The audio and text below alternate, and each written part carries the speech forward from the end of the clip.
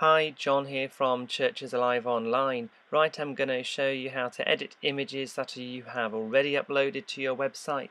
That includes resizing, cropping and rotating as well as a few other tools. It's important that you do resize the pictures uh, physically on your website so that they are as small as possible to make downloading faster, especially on mobile devices.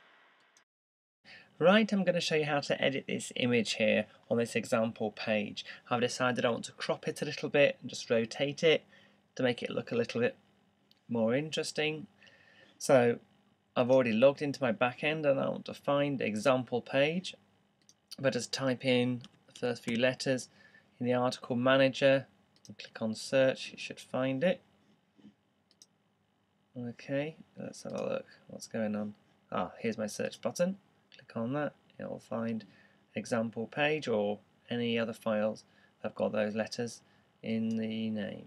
So I load it up and it's a single click on the image and then the button that you're looking for just here okay? That's the image manager button. So I click on there okay? So the next button that I want is just down here which is going to manage the editing process for me. Okay, so if we hover over the mouse, if you did forget, you should be able to hold the mouse over and it will tell you the name of edit image. That's what I want to do. Okay, so I want to crop it, so I'm just going to use the crop feature on the side and I'm just going to drag these handles. I hold my mouse over the corner, it changes from a crosshair to a little black arrow. Then I can just drag that to where I want it to be. And again up here in the top right hand corner it's the crosshair. And when I hold it over the black square. It turns into a little arrow. I'm going to drag that round. Okay now I want to crop like that. So I'm just going to click on apply. Okay so in the same way you could here resize the image there if you so wished Okay, there you go, it's applied the cropping process.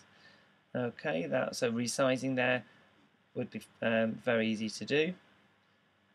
And also this side I've decided I'm going to rotate it, so I'm going to click on there and then save. The other options you've got on here, you've got a few effects that you could choose to apply if you so wished. So let's try that one there, number four. Yeah, okay, I'm going to go for that dull fade effect on my image. I've got my rotate as well. I'm going to click on save. Now it wants a new name for my image. I'm just going to call it faded hands and click on OK. So that's going to put that image back in my image manager folder on the website and now I should be able to insert that quite easily into the document. So now, before, that's the the image I had before. This one I want faded hand this time, okay?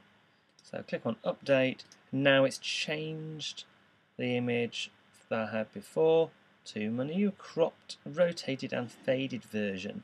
Click on save and close and let's take a little look at the front page, do a refresh what have I got now?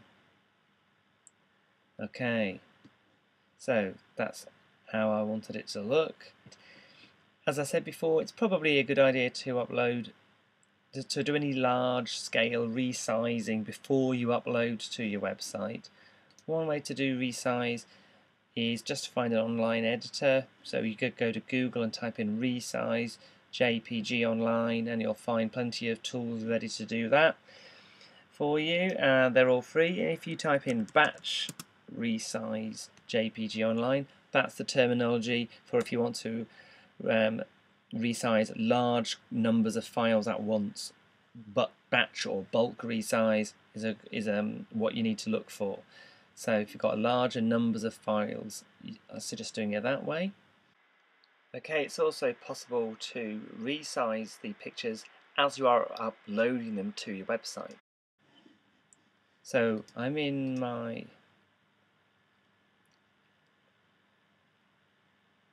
article manager here in example page and if I want to upload a picture and resize it as I upload I go to the point where I want to insert my picture.